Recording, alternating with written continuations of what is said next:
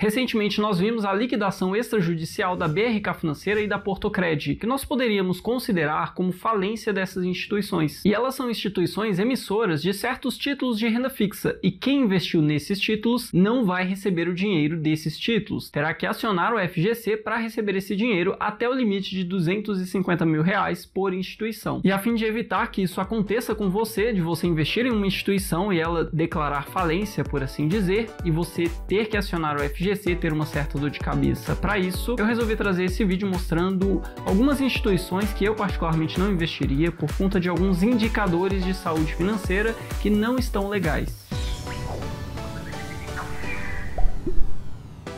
Fala seus ricos! Bom, e se você está me vendo aqui pela primeira vez, meu nome é Marco Antônio e você está no canal que te deixa cada dia mais rico. E antes de eu dar sequência nesse conteúdo, já deixa o seu gostei aqui embaixo, se inscreve no canal e ative as notificações. E explicando, primeiramente, como que você analisa uma determinada instituição, se ela tem ou não tem uma boa saúde financeira, existem alguns indicadores, algumas coisas que a gente analisa em um banco, por exemplo, antes de deixar o dinheiro nesse banco, ou antes de investir em algum título de renda fixa dessa instituição. Então tem um site que eu utilizo bastante para isso, que é um site que reúne informações sobre as instituições financeiras, que é o site Banco Data. Basta você pesquisar no Google Banco Data e aí clicar no site onde você vai ter essas informações sobre as instituições financeiras. E aí, pegando como exemplo um dos bancos que eu uso para fazer os meus investimentos em renda fixa, o banco da Ecoval, como você pode ver aqui em cima a gente tem o patrimônio líquido. Quanto maior a instituição, maior deve ser o patrimônio líquido, afinal ela tem mais patrimônio acumulado pelos investidores ali, então faz sentido ela ter mais patrimônio líquido para em algum momento, caso ela precise, conseguir liquidar as suas dívidas. Então, quanto maior o patrimônio líquido,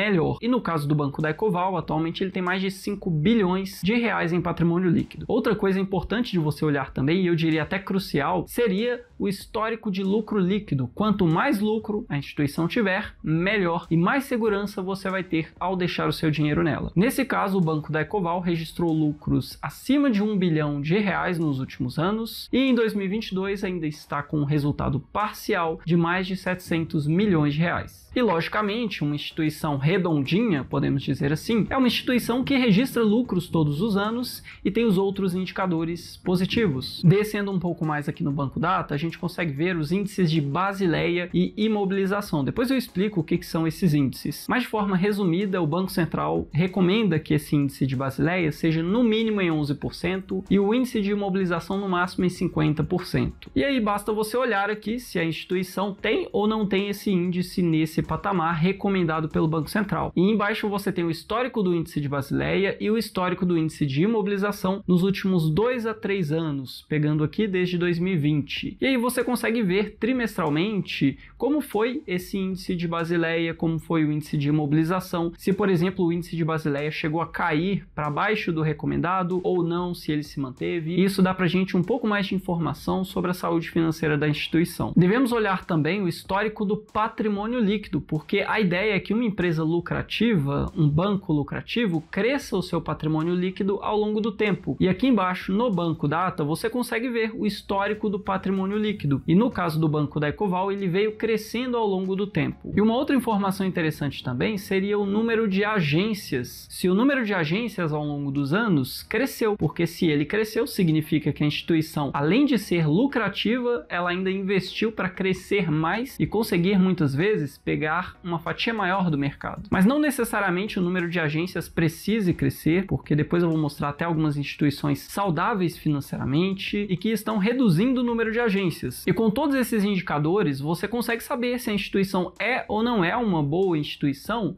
em termos financeiros. E eu separei aqui duas instituições que eu particularmente não invisto meu dinheiro, nesse caso tem uma saúde financeira duvidosa, que primeiramente é o Banco Bari, e o Banco Bari é um case um pouco diferente aqui, eu vou dar uma atenção maior para ele, porque por algum tempo eu sempre falei bem do Banco Bari em termos financeiros. A saúde financeira dele por um bom tempo esteve em níveis bons. Como você pode ver, ele vinha registrando lucros recorrentes, porém agora ele está com um prejuízo parcial em 2022, o que acende um alerta para gente. Como é um prejuízo parcial, ainda não fechou quanto foi o resultado de 2022, ele pode tanto aumentar quanto diminuir. E descendo mais, você tem os índices de Basileia e de imobilização. E o que, que que são esses índices, né? Tem aqui no próprio site do Banco Data uma descrição do que, que seria o índice de Basileia. Basicamente, ele determina a relação entre o capital próprio da instituição e o capital de terceiros, que seria as captações, que será exposto a risco por meio da carteira de crédito. Por exemplo, se um banco possui um índice de Basileia de 20%, significa que para cada 100 reais emprestados, o banco possui patrimônio de 20 reais. Ou seja, esse basicamente seria um índice de alavancagem. Quão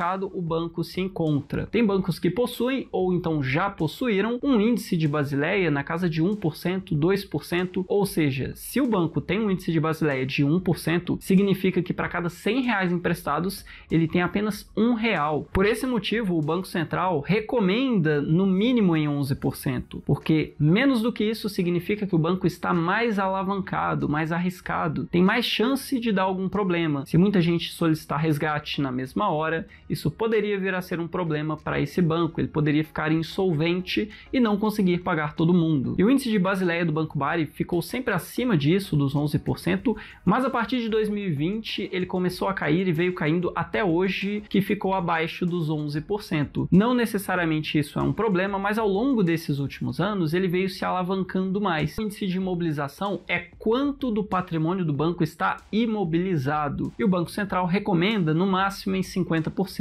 O que, que significa isso? Significa quanto por cento do patrimônio do banco ele tem imobilizado e quanto menor, melhor porque significa que o banco tem mais agilidade para pagar as suas contas caso seja necessário. Ao passo que, se ele tiver um patrimônio imobilizado muito alto e ele precisar pagar algumas contas ou então pagar alguns títulos de renda fixa que venceram, por exemplo, talvez ele não conseguisse fazer isso e teria que se desfazer de uma parte do seu patrimônio para só então pagar esses clientes. E isso geralmente não acontece do dia para a noite e para acontecer uma venda de um patrimônio físico rápido, ele precisa ser depreciado. Por isso o Banco Central exige que seja no máximo em 50%. E no caso do Banco Bari, ele tem o índice de imobilização dentro do recomendado ali. E ainda dentro do site do Banco Data, você consegue ver o patrimônio líquido da instituição. E aqui tem um patrimônio líquido de 147,4 milhões de reais, o que é positivo, já que é várias vezes maior do que o prejuízo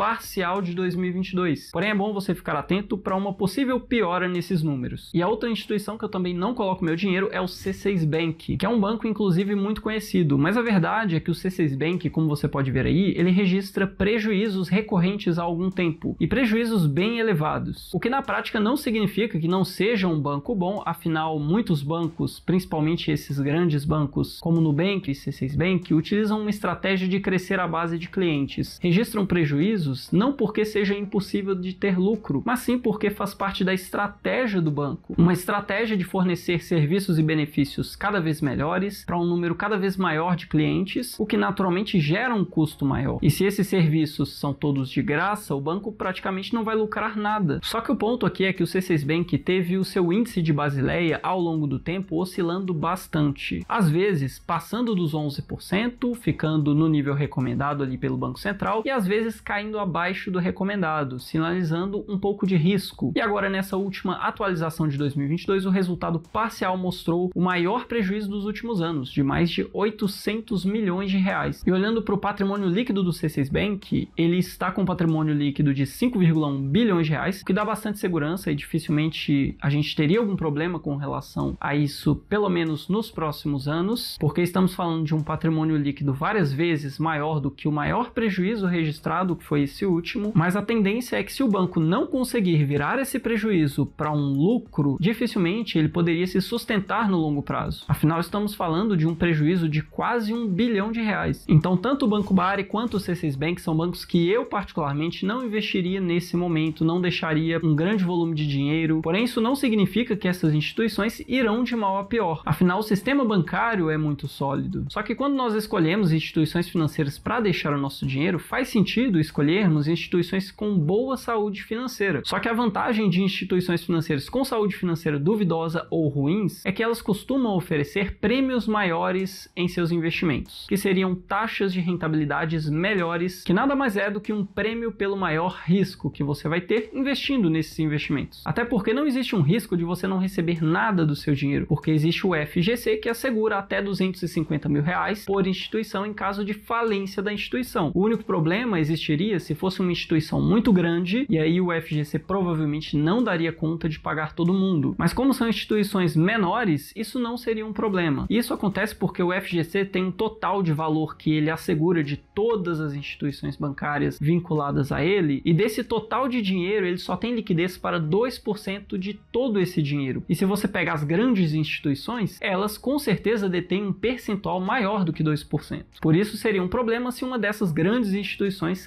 quebrassem, declarassem falência ali ou simplesmente não pagassem. Só que quando você aciona o FGC, não é de forma imediata que você recebe esse dinheiro, tem uma certa dor de cabeça, até mesmo para você acionar o FGC no quesito de às vezes o aplicativo dá problema, não entra direito, e você a partir do momento que a instituição declara falência, até o momento onde você de fato recebe o seu dinheiro, que pode demorar semanas, dependendo do meses, você não recebe uma correção do dinheiro nesse período, somente até o momento onde a instituição declarou falência. Então, se você acha que isso é uma dor de cabeça muito grande, invista apenas em instituições com boa saúde financeira. E esse vídeo foi justamente para te mostrar como analisar a saúde financeira das instituições. E alguns exemplos de instituições financeiras com boa saúde financeira, redondinha, com todos aqueles pontos que eu falei positivos, seria, por exemplo, o Banco da Ecoval, que eu dei o exemplo no início do vídeo, o Banco Sofisa Direto, temos também a conta do Banco Inter, que é uma conta redondinha nesse sentido também, temos o Banco ABC, tem outras instituições que eu não citei aqui porque elas não têm todos aqueles pontos redondinhos, mas não necessariamente seriam contas ruins, e eu poderia citar tranquilamente os grandes bancos, como Banco Itaú, Bradesco, Santander e Banco do Brasil, que são contas redondinhas nesse sentido